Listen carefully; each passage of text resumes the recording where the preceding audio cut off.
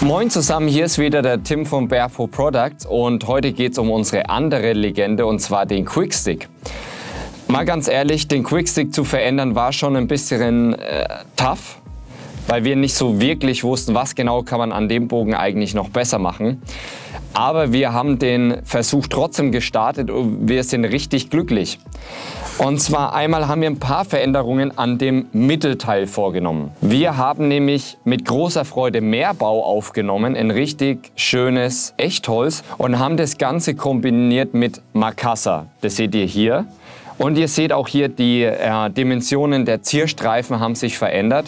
Auch unser Overlay im Facing und im Backing, jetzt habe ich es gerade andersrum gemacht, ähm, haben sich auch verändert. Also wir nutzen Schwarzglas, Ahorn und dann eben die Änderung des Makassa mit. Auch die Wurfarme sind extrem äh, performance-stark geblieben. Also wir nutzen weiterhin unseren Bambuskern, unser Olivefurnier und wir fügen Carbon hinzu. Und zwar nicht in der Nulllinie, sondern direkt unterhalb vom äh, Furnier, dass wir richtig gute Leistung erzeugen können.